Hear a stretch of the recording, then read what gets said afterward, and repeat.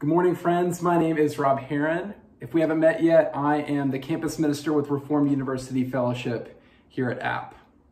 I'm filling in for Scott, and I'm so glad to be able to speak from God's Word to you this morning. We're continuing to go through Paul's letter to the Philippians, and we're now at chapter 2, verses 12 through 18. So you can turn in your Bibles there and read along with me. Philippians 2, 12 through 18. And there the Apostle Paul writes, Therefore, my beloved, as you have always obeyed, so now not only as in my presence, but much more in my absence, work out your own salvation with fear and trembling. For it is God who works in you both to will and to work for his good pleasure.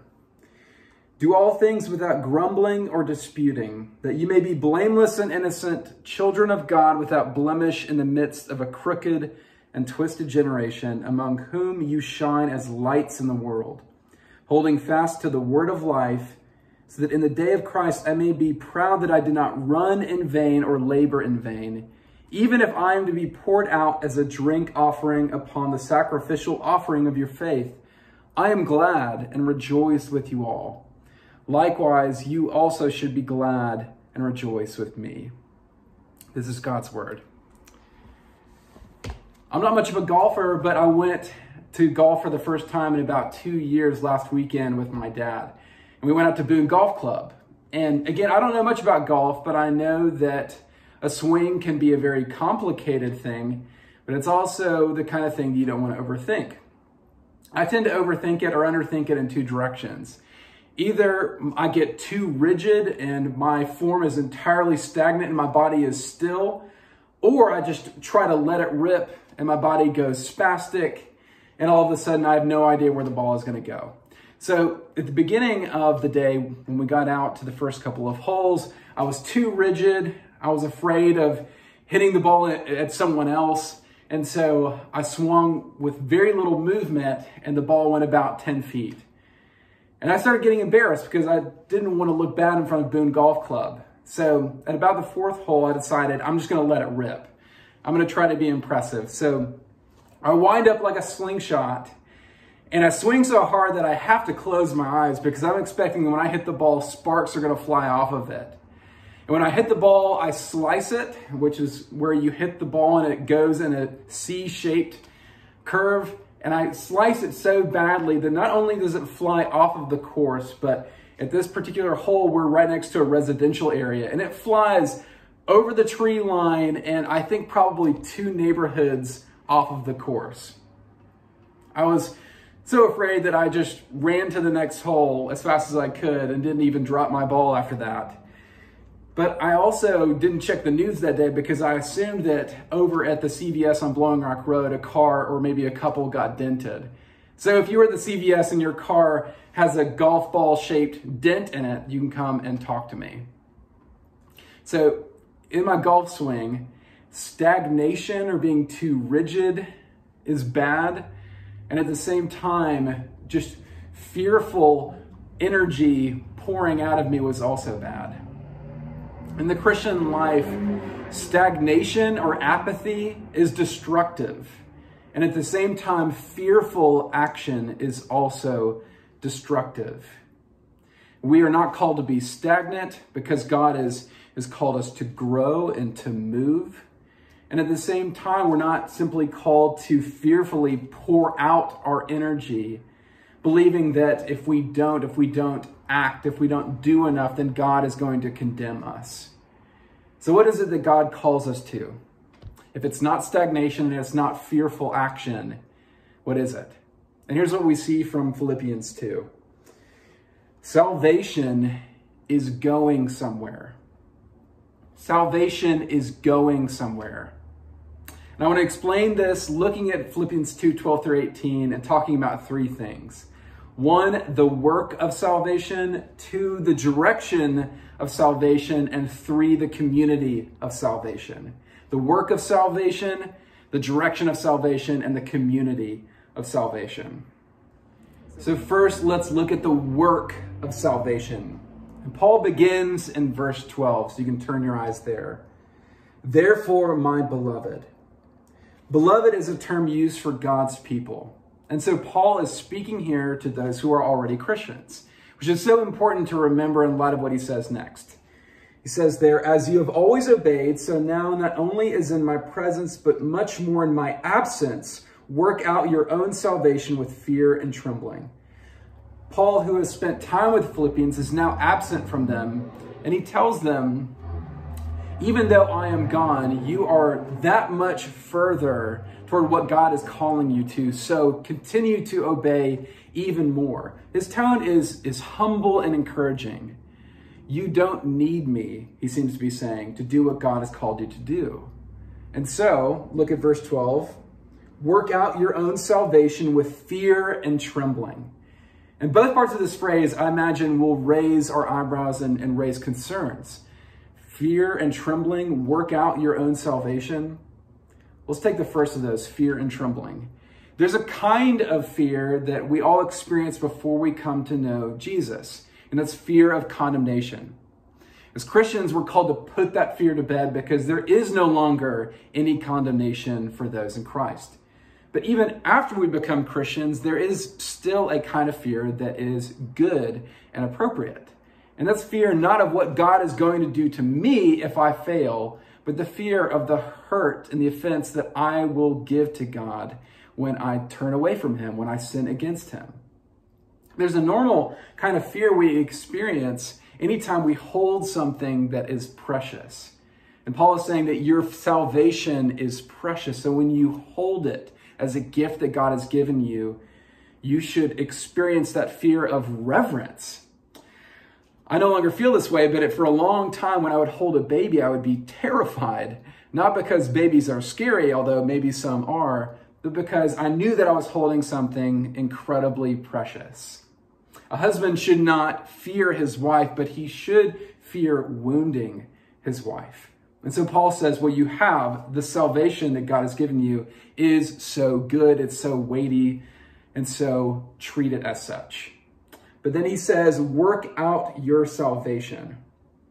And this, again, understandably raises our eyebrows because isn't salvation something that God gives to us?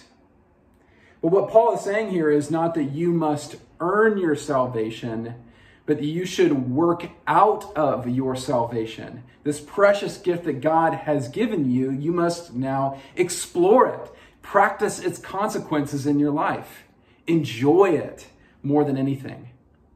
When a husband and wife are married, they're at the ceremony, they are charged to work out of their marriage. You have this thing, it is now secure. Now, again, explore it, practice it, and more than anything, enjoy it. And more than anything, Paul wants to make it clear to them in verse 13. For it is God who works in you both to will and to work for his good pleasure. When we work out our salvation, we are simply responding to God's love and we are drawing from the resources that He has given us. It is all the way through God's work. This past week, Mary Lee and I and our son Robert, who is two, were at a summer camp. And I was teaching middle schoolers and high schoolers, but in between the sessions, we were able to explore the campgrounds. And my favorite part of the entire week was being able to take Robert to do the slip and slide. When we went to it at first, Robert was scared, but as he watched people doing it, how much fun they were doing, he wanted to go. And so I would pick him up and I would carry him up the hill. As we got to the top, I plopped down one of the inner tubes. I sat in it, sat in it, and I picked him up and I put him in my lap. And we went down, and the whole way his hands are up in the air, and he's he's screaming with terror and with joy. And right when we get to the bottom, after I've held him tight and done all the work, he yells, "I did it!" from Robert's perspective, yes, he was putting in this work, but truly it was it was me. Not to pat my own back, but I was doing the work and I was delighted for Robert to get to enjoy that work. I was delighted for him to enjoy that work. God is delighted when we work out of our salvation because where he is taking us is so good. Where he is taking us that requires this work is knowing more and more His grace, His love. The work that we do is to enjoy more what He has done for us. And what this helps us understand is that salvation is not just about the beginning of our Christian life when we come to believe in Jesus, and it's not the end of our Christian life when we are fully and finally with Jesus, but it is the entire process of God bringing us to himself. And this means clearly we are not called toward apathy because where God is taking us is so good, but we're also not called to fearful action because it is in the end entirely God's gracious work in our lives. When we are apathetic, we are missing the reality that is so beautiful of growing more in appreciation for what God has done for us. But to, to live with fearful action as if God has done something for us and now we've got to keep it, we might lose it if we mess up, is to totally obscure what God is saying to us here, which is Come on. I am have done the work. I'm continuing to do the work. I will do the work. So now explore it, practice it, and enjoy it. So that's the first thing here. That is the work of salvation. And second, what is the direction of salvation? God tells us to work out our salvation, but what specific direction is that taking us? we find the answer in verses 14 through 15, where Paul says, do all things without grumbling or disputing, that you may be blameless and innocent, children of God without blemish in the midst of a crooked generation, among whom you shine as lights in the world. There's a few things that we can draw out from this. One is that we are not to move out of the world. Clearly, the world is not in the business of encouraging our growth in Christ. That's not its deal. And yet, Paul does not tell us to flee the world. So often, we as Christians have read Paul's words here and assume that it, he's telling us to do something kind of like what Arthur and his knights do at the end of Monty Python and the Holy Grail. When they go to the cave they want to enter into, and there's a murderous and monstrous rabbit guarding it. And when they see what the rabbit can do, they all yell, Run away. Paul is not telling us to run away from the world. Instead, he says that God is working in us right in the midst of a crooked generation. Right smack in the middle of a sinful, broken, fallen world, God is taking us somewhere. So we're not to move out of the world, but we're also not merging with the world. Clearly, Paul is telling us we should be distinct from what's going on around us. Specifically, he says, do all things without grumbling or disputing. Grumbling has to do with outwardly expressing discontent, motivated by a selfish desire to get what's mine, that the world is really there to give me what I want. And disputing is the internal side of the coin, harboring an attitude of constantly critiquing other people, judging them, resenting them because they don't do things the way that I think that they should do them, or they're not giving to me what I think I deserve. And Paul says this is what the world does by default. You don't have to try to do this. But instead, we are to take the mindset, adopt the mindset that Jesus has, and Paul describes in the first 11 verses of this chapter, to count others more significant than ourselves. So, what this means is we're not to move out of the world, we're not to merge or fuse with the world. We are to move toward Christ conformity in the midst of a fallen world. We can only adopt a true posture of self giving rather than self interest, counting others more significant than ourselves by becoming more like Jesus. So, the direction of salvation is Christ conformity. Instead of uh, uh, focusing on getting out of the world instead of focusing on becoming more like the world. Our focus is to become like Jesus in the world.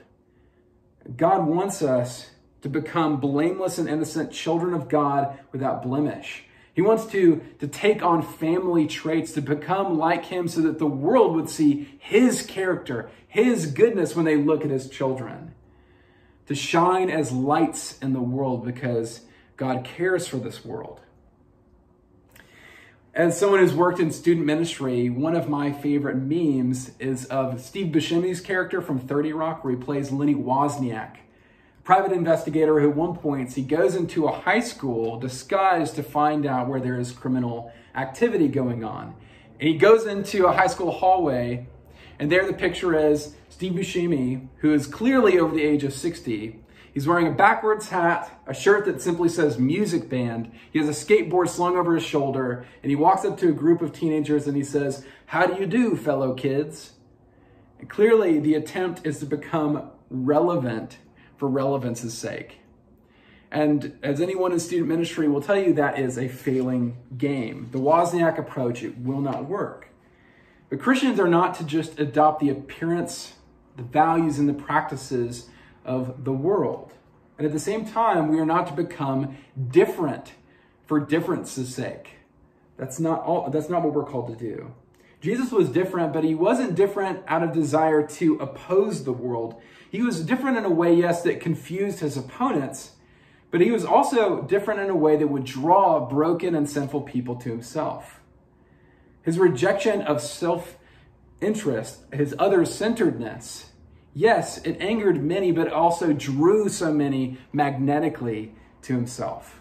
J.I. Packer is one of the greatest Christian thinkers and writers of about the past 50 years. He passed away on Friday. Packer was respected by so many within the context of Christianity, but he was also respected by many outside of the church. And it wasn't because he was cool. He never wore dark jeans. He didn't hang out with celebrities. He didn't play an electric guitar. And yet he was respected. Uh, when he was young, he was running away from bullies in his neighborhood. And to get away from them, he ran into the middle of a busy street and he was hit by a truck. And the incident left him with an indentation on one side of his forehead that he carried the rest of his life. And he received this event in his life the way he received his recognition that he got later for his writings with humility. What people notice about J.I. Packer is that he was different, but it was a different kind of different. He was gentle, he was kind, he was brilliant. And more than anything, he desired to honor Jesus with every bit of his life. This is the kind of different that we're called to. We are called to be different because Jesus is ultimately relevant. When we are apathetic, the, the reality is that we're likely to just become like the rest of the world. And we may call ourselves relevant, but that's not the right kind of relevant. And when we are fearful, we will move away from the world thinking that this is what God has called us to, but that is the not the right kind of different.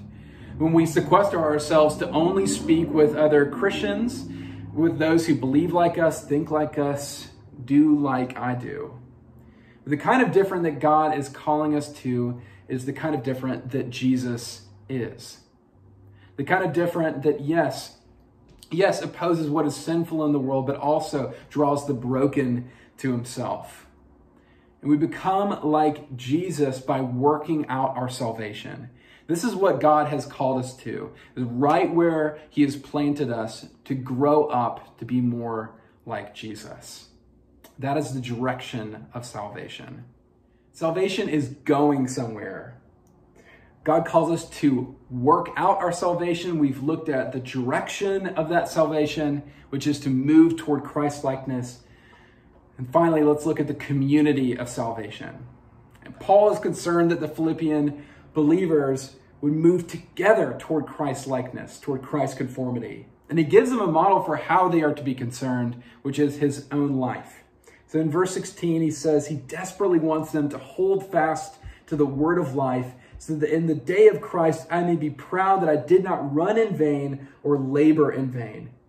The goal of his entire ministry is to honor Jesus by encouraging them to continue to move toward Christ until they reach full maturity and until they enter into the fullness of God's presence in heaven.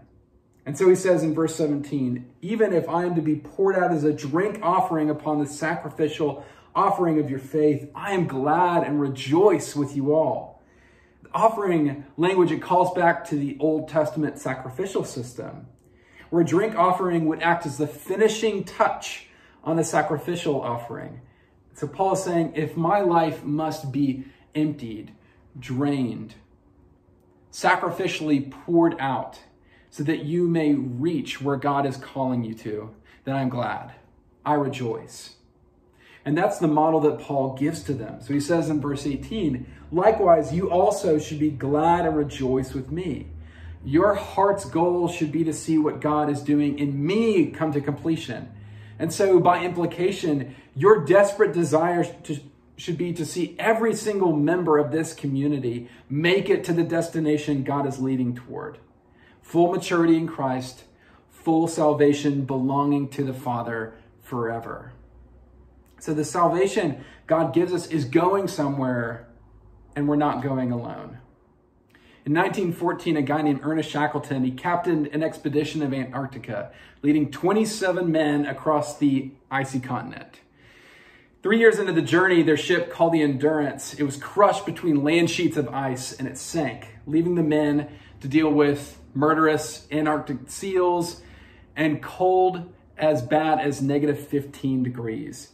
Uh, what makes the story of the endurance so incredible is, is not just what they had to endure, but the fact that all of the men made it back home safely. All men survived. And one author uh, who wrote about the expedition says this of the reason, about the reason it's still so famous to this day. And this is talking about the moment the men arrived in safety. In that instant, they felt an overwhelming sense of pride and accomplishment, though they had failed dismally even to come close to the expedition's original objective. They knew now that somehow they had done much, much more than they ever sought out to do. It was a failed expedition, and yet all of them making it back home together was the greatest accomplishment. To go where God is leading, we need one another. And the greatest accomplishment is us together moving where God is calling us to go. And so we need one another in a way that's different than what we expect. I don't just need you to encourage me as I go after my own goals. And you don't just need me to support you while you pursue your own goals. Instead, the greatest thing we need from one another is to encourage one another toward the common goal of salvation full maturity in Christ, arriving fully and finally in God's presence. And we desperately need one another to do this.